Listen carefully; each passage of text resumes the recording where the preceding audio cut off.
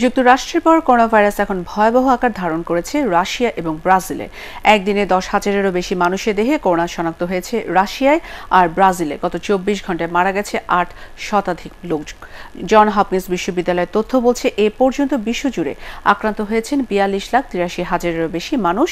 মৃতের সংখ্যা ছাড়িয়েছে দুই লাখ বিরানব্বই হাজার। রিপোর্ট করছেন S M Ashraf. Russia has been on a strict lockdown since late March. ঠিক এক মাস আগে কি ঘটেছিল?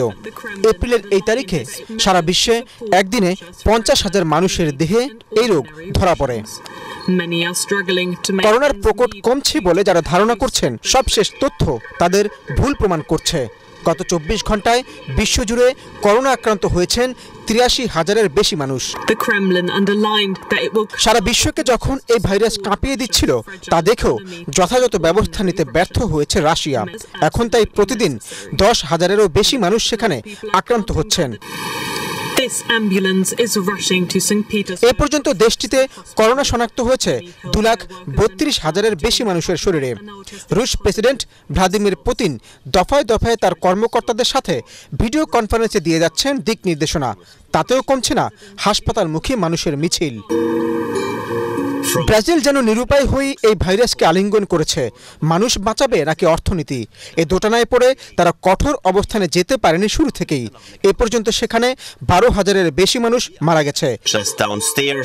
গির্জাগুলিতে ধর্মযাজকরা ভিডিও কনফারেন্সে বলে যাচ্ছেন বাসা থেকেই প্রার্থনা করতে.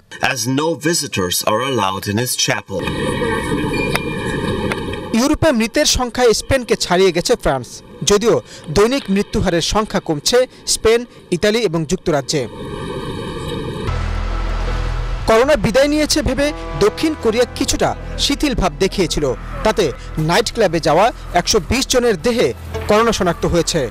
এই মহামারীর দ্বিতীয় ঢেউ আঘাত হানার আশঙ্কা এখন সিউল। জিলিন প্রদেশে ছয় জনের দেহে এ রোগ শনাক্ত হওয়ায় চীনা সরকার লকডাউন আবারও কড়াকড়ির সিদ্ধান্ত নিয়েছে সেখানে।